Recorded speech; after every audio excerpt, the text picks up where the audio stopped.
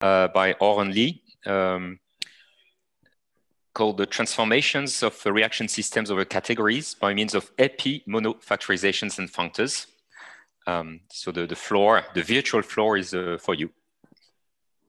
Yeah, thank you for the introduction. Uh, uh, yeah, I just start. So in 2007, Ehrenfeucht and Rozenberg introduced reaction systems for modeling the functioning of living cells and furthermore as a new computation paradigm with massive parallelism. The model is set-based and computations can be seen as surfing on subsets on, of a background set. And since then, this area gained a wealth of research on a wide spectrum of topics. Uh, two years ago at ICGT, Kreowski and Rozenberg proposed a graph-based generalization and as a novel approach to graph transformation. And in a case study, they modeled finite state automata, some graph algorithms, and cellular automata. Mm. And they employed simple edge label directed graphs. And last year, uh, we proposed, so Kreowski and I proposed a categorical approach uh, to cover more uh, categories or more uh, algebraic structures on which uh, reaction systems can be based on. So whenever ha one has a class of entities, uh, one may try to use them as objects of a category by choosing suitable morphisms. And two natural questions which come up are what are meaningful notions of morphisms between reaction systems over a category and what are meaningful functors for the underlying category. And in this paper, we propose uh, two such transformations. So the first is based on epimonofactorization and the second is based on EU preserving functors.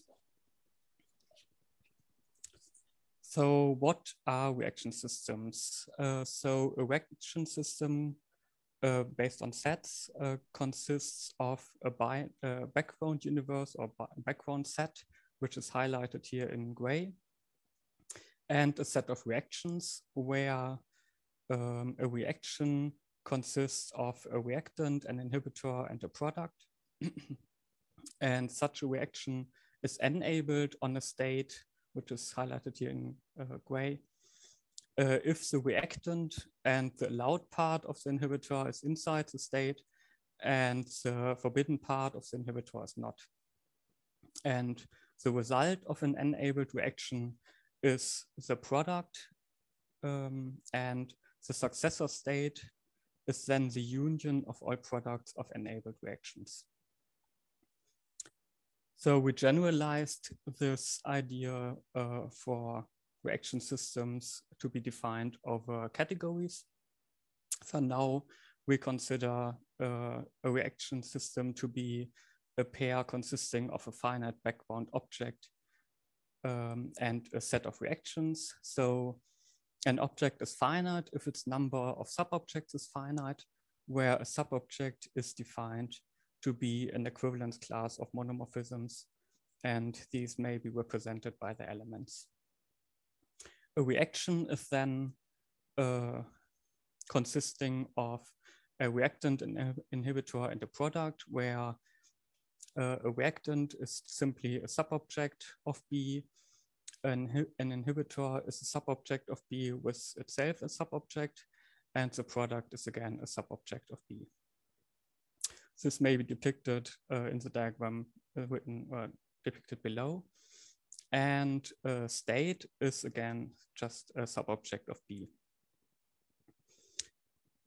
Uh, such a reaction is enabled on a state T if the reactant is included in the state, which is defined by uh, the notion of subobject, subobject inclusion, which means there's a monomorphism from R to T such that this diagram commutes. And the second condition is that for the intersection of the state with the first part of the inhibitor, uh, this intersection is subobject included in the composition of the first and the latter part of the inhibitor. And this means that the complement is forbidden. And intersection of subobjects is defined by pullbacks of monomorphisms in the usual way. So um, a result of a reaction on a state T is then the product, so the subobject, uh, so the, the, third part of the reaction, if the reaction is enabled on the state T, and it is the empty subobject otherwise.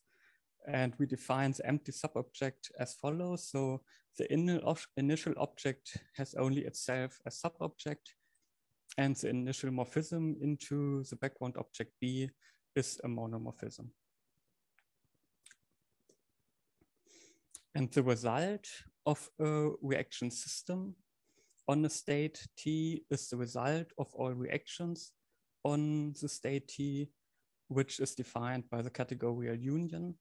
And this is then uh, a single surf step, which is massive parallel, and there's never a conflict, which means that reactants can be uh, or can enable arbitrary many uh, reactions. And furthermore, one should note that the current state vanishes completely, but may be reproduced or partly reproduced by the uh, union of the products. So the union is defined for a set of subobjects of B by means of the co-limit of pairwise pullbacks of monomorphisms. And we uh, require that the induced morphism from the co-limit object into the background object B is again a monomorphism, meaning that it is a subobject. And we denote uh, this special uh, morphism uh, by union uh, from the set S. Summarizing, so reaction systems over, cat over category C can be defined, uh, provided that the category has initial objects for each finite object B. It has intersections, uh, intersection for two subobjects and union of a finite set of subobjects. And we call these categories, which uh, pro yeah, provide these three structures, EU categories, and they are closely related to adhesive categories.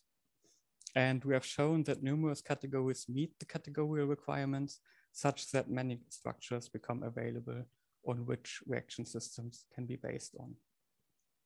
So this goes uh, be beyond graphs, so also algebraic structures uh, like monoids and partial ordered sets fit into this uh, framework.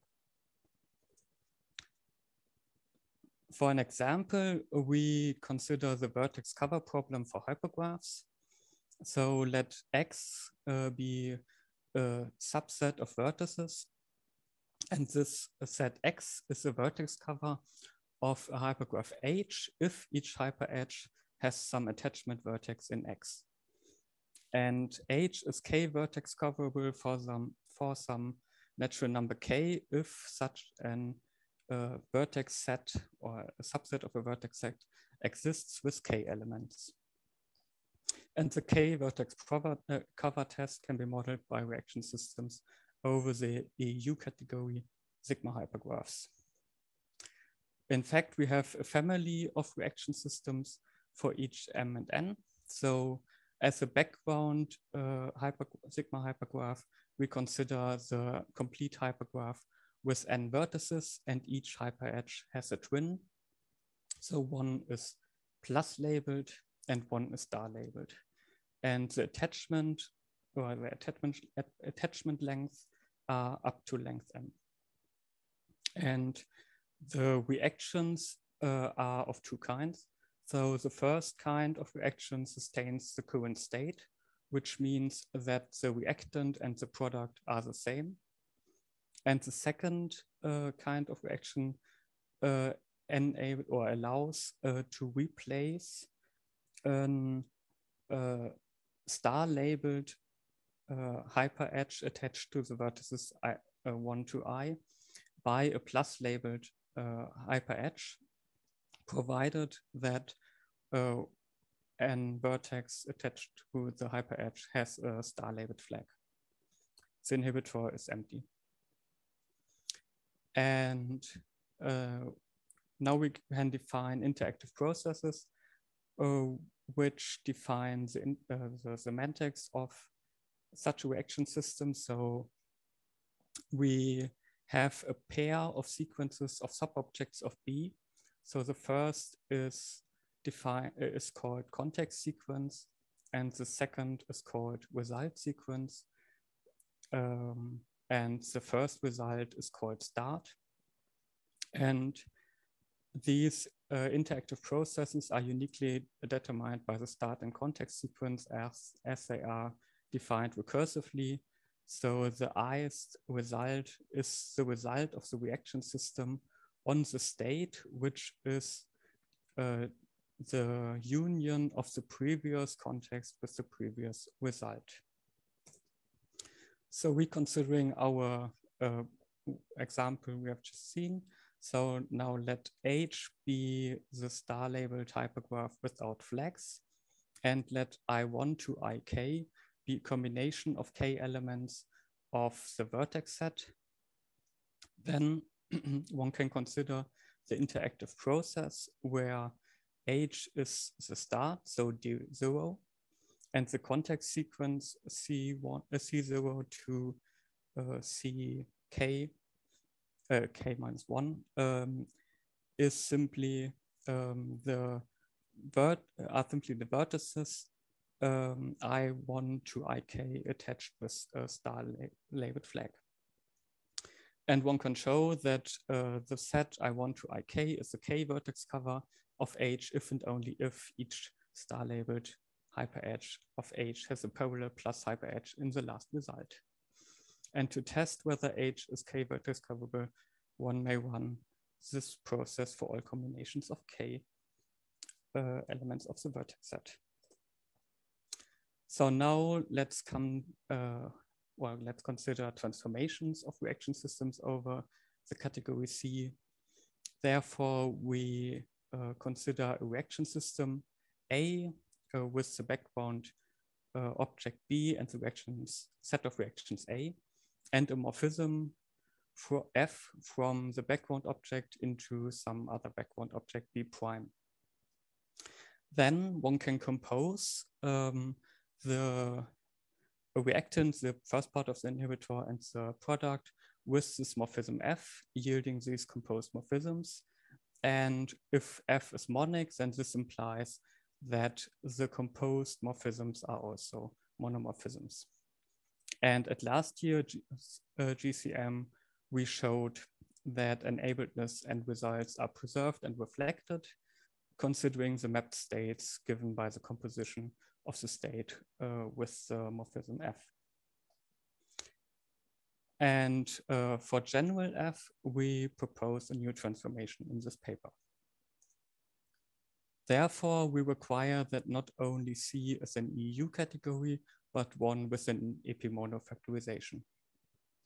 We consider uh, the composed morphisms and do the epimonofactorization for those.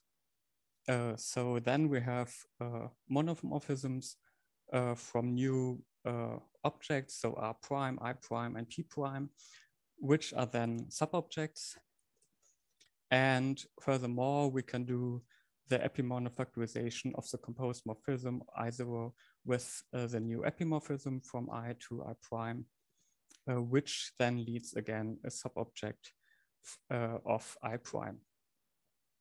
And furthermore, one can show that uh, the composition of these two monomorphisms is the same as the monomorphism obtained from the epimonofactorization of either row with I and F. And then uh, one can simply uh, take these new or four new monomorphisms and uh, plug them in into the scheme of the reaction. So this is the image then of, uh, of the reaction with respect to the epimono epimonofactorization. And furthermore, we call the image consistent if the intersection of the new uh, reactant with the inhibitor uh, is a subobject of uh, the yeah, composition of the inhibitor uh, of the new inhibitor, so the first and the latter part. As a result, or uh, using these notions, um, one can then define uh, the image of a reaction system with respect to the epimonofactorization by choosing B prime as the back background object, so the codomain of the morphism, and applying the transformation for each reaction in the reaction system A. And uh, furthermore, one can define the consistent image uh, by restricting to the consistent uh, images of the reactions, respectively. Uh, one can show that um, the uh, monomorphism obtained from the epimonofactorization of the transformed results of the uh, first reaction system um, in, uh, in uh, sequence with the morphism provided uh, is a subobject of the result of the image of the reaction system um, of the transformed states, which are transformed with respect to the epimonofactorization, provided that the empty subobject of B um, in composition with the morphism F equals the empty subobject of B prime. And furthermore, um, the result of the um, reaction system, or of the image of the reaction system and the result of the consistent image of the reaction system with respect to the epimonofactorization are the same. One can do this uh, an analogous transformation for interactive processes. So just uh, do the uh, epimonofactorization for the composed morphisms and one gets a similar result as the previous one for interactive processes. As an example, uh, one may consider um, finite state automata simulation and minimization. So Kreowski and Rozenberg showed that um, finite automata can be modeled by reaction systems and their interactive processes. So the background is then simply the automata and uh, a bit auxiliary structure uh, reactions encode the sustaining of the structure and the automata and uh, encode how transitions um, fire on inputs or uh, are performed on the inputs and the inputs are provided by these context sequences of the interactive process. And a morphism from the background objects uh, can then be seen as mapping this uh, automata um, to a new one, and reactions are transformed accordingly. And if one assumes that uh, this morphism F then identifies or merges some states, uh, then the input sequence can be run on both automata, so the original one and the transformed one. And if um, the latter one is functional equivalent, uh, but smaller, then uh, one gets, after repeating the structure or this procedure, uh, as long as possible, minimal automata. So last year, we introduced the category of reaction systems over a category. Uh, where objects are reaction systems over some EU category C. And morphisms are then morphisms between reaction systems, uh, uh, which are uh, defined by the monomorphism from the background object to the new background object. So uh, the background object B prime is from A prime and B is from A, provided that the images of uh, reactions are included in the a set of reactions of the uh, latter reaction system A prime, where the images are simply defined by the composition. And, uh, analogously, one can define uh, the category of reaction systems over a category with epimonofactorization simply by requiring that C has is not only an EU category, but also one with epimonofactorization. We don't need this restriction for the morphisms then that they are monomorphisms, but we can with, uh, choose arbitrary morphisms. Uh, however, uh, provided that the empty subobject of B in, com uh, in composition with F must be the empty subobject of B prime. And uh, we have the requirement that the um, consistent image of the reactions uh, should be included or must be included in the set of uh, reactions of the latter uh, reaction system.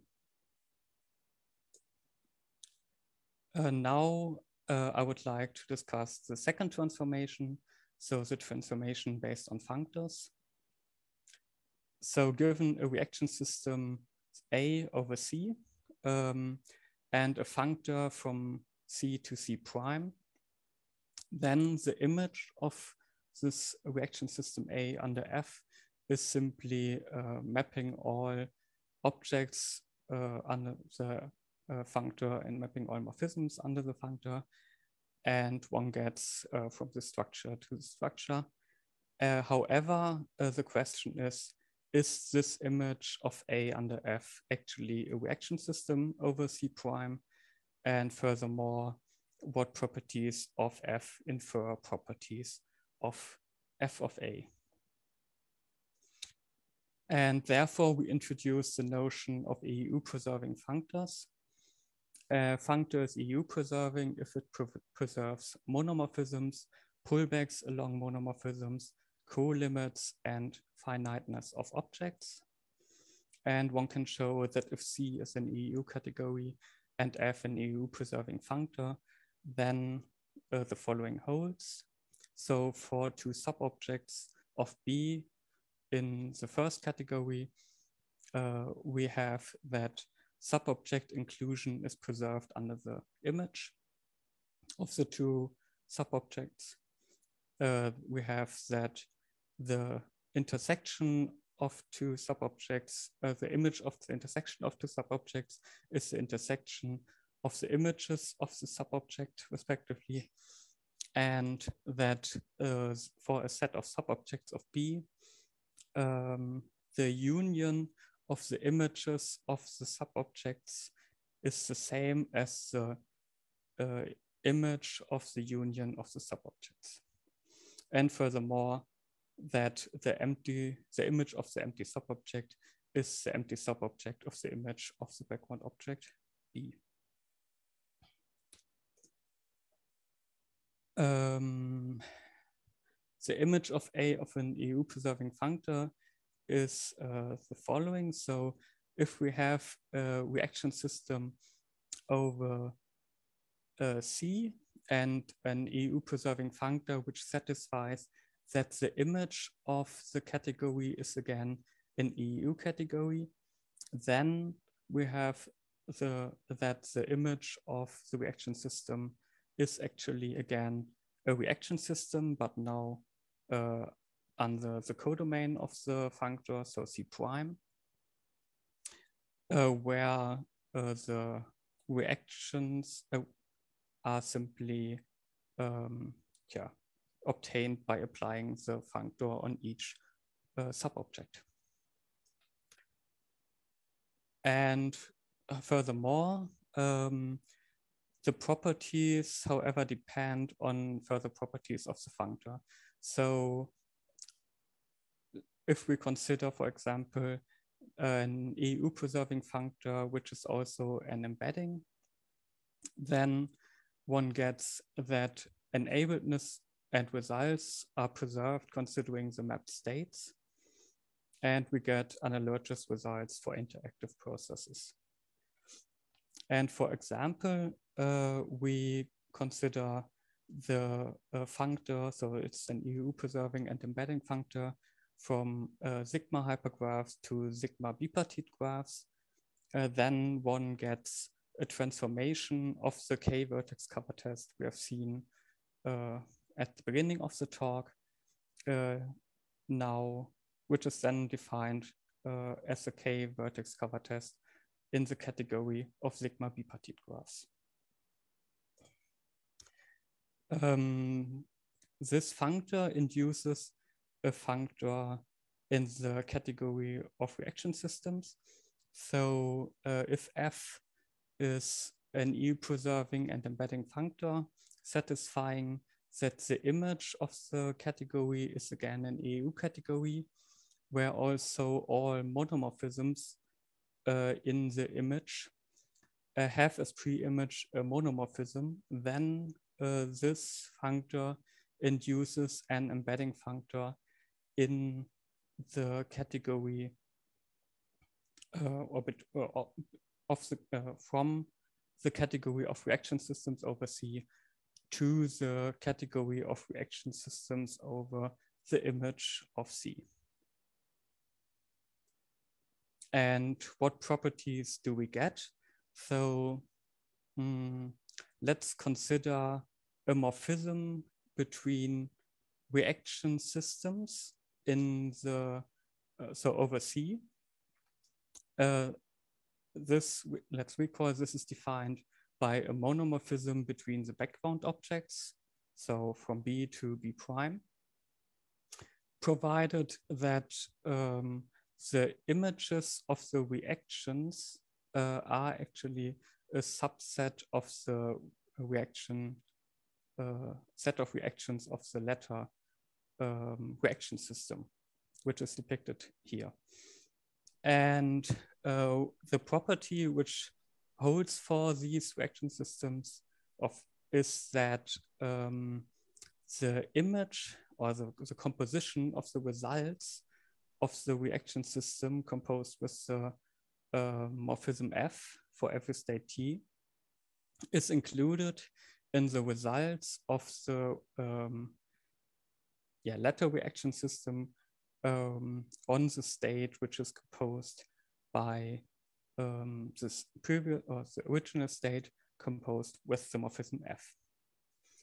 And I, now, uh, Aaron, Aaron, sorry to interrupt. You have to to conclude in a in a maybe next slide because uh, okay. time is running out. Yeah, I will hurry up. Um, so uh, the basic idea or the basic uh, key uh, key message here is that uh, this property is preserved.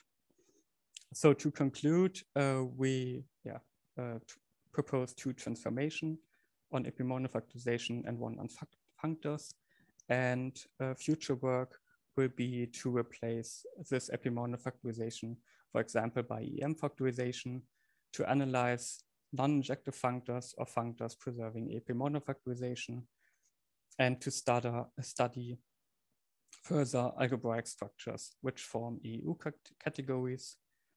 Um, maybe it were maybe worth restricting to adhesive categories, and it would be nice to uh, study if finite objects can be replaced by compact objects, finitely representable objects, or finite objects in topoi. And uh, thank you for your attention. Do you have any questions?